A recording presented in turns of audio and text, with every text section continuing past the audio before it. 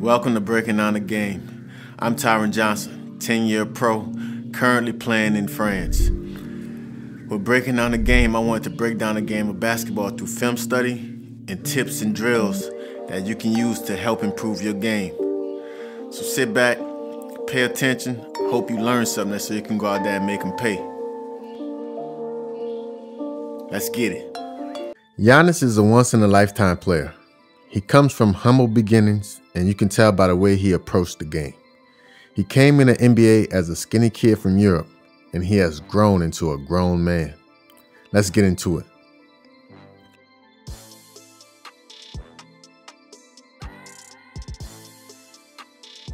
First thing you will notice about Giannis is his strides.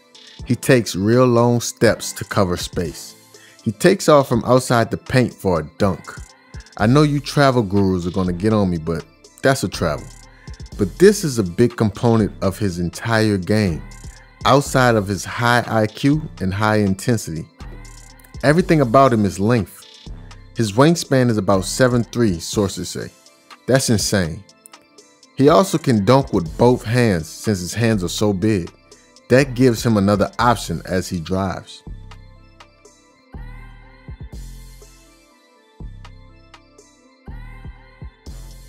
One of his go-to move is in transition. He attacks and brings the ball over his shoulder and across your face. This makes the defense back up. If you don't, you'll get hit in the face. Not many people are trying to take that type of punishment. After all that space, it's too much space for Giannis.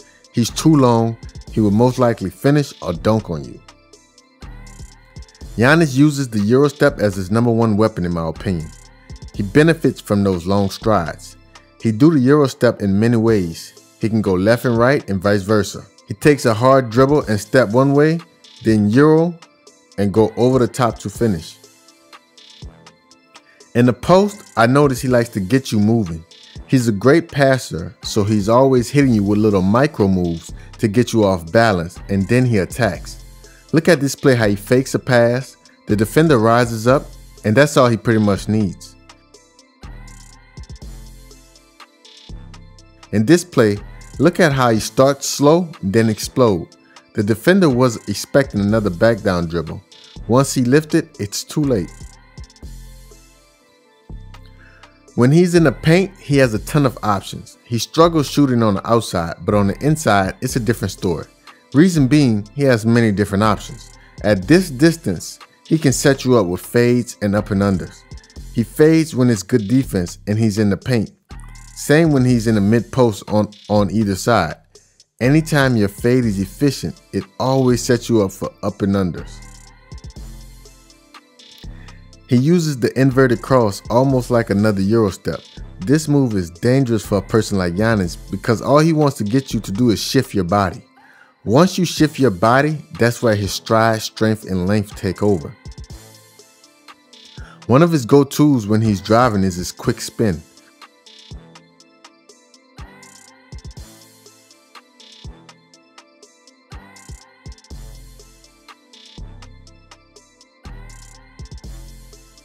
Whenever he quick spins, there's a couple of things you need to worry about.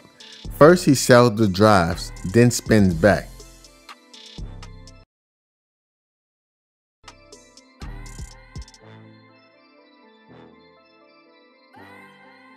Second, he looks to bump you on the spin.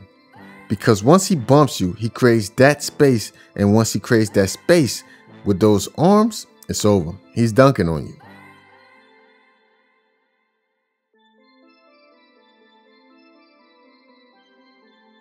Giannis runs the floor like a deer and gets rewarded. He also seals early in transition. This is a good way to get yourself going. I notice when he's in transition, he throws the ball to his right hand. Then he has option. He can go inverted cross, hesi, or long euro step. When he's at the top of the key, the coach gives him some freedom. This is where he likes to get creative with passes or ISO situations. You see, he's not very shifty, but he has height and length over this guy. Bump, knee, shield, and one. When it comes to rebounds, the guy hunts rebounds. He's a pest on the board and getting putbacks. He's going to score a lot of points because of this. He's scoring at all three levels, not the three so much, but when you add in offensive rebounds and free throws, those are point maximizer. He has a quick second bounce, adding long arms, and he's going to rebound a lot of his misses.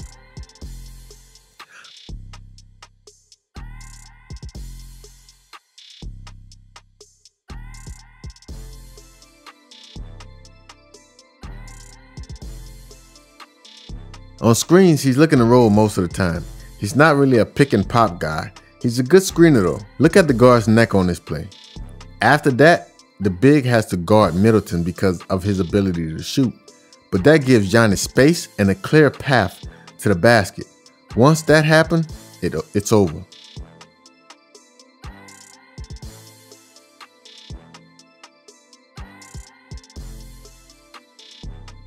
Giannis never really spots up. He's either moving off the ball or handling the ball. When he does shoot the three, it's off the dribble. He has to dribble up to a three instead of being spotted up or relocating. Shooting is going to be difficult for Giannis. His hands are huge and he still has some mechanical problems. I, I still see a slight hitch in the shot. Many times he's shooting on his way down. This may be the reason why his jump shot is not consistent.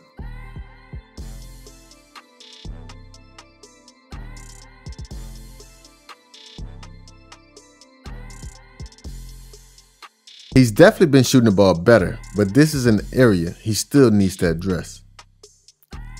Giannis is a super athlete. Most of his athleticism is done on one leg. He jumps explosively off of one and two feet. He's more of a one leg jumper though. He has to do a lot of bounding exercises because he's stable and explosive while being on one leg. I think the most underrated aspect of Giannis' game is his IQ. He played guard in Greece, and I think he kept those skills. That's why he's good at reading the defense and being a big time team player.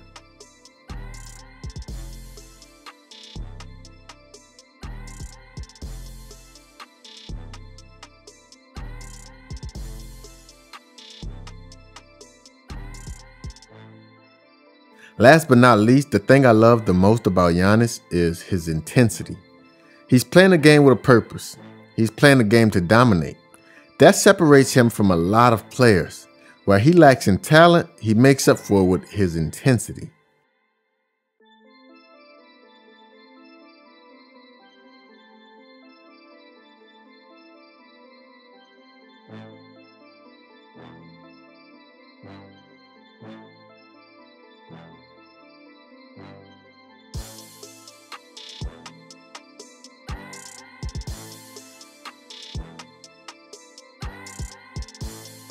At 26, Giannis is just getting started.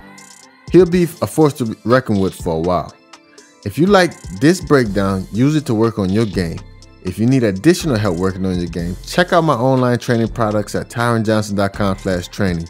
While you're on that site, also check out the Truth Life podcast. Links in the description. Besides that, thanks for watching, and until next time, make them pay.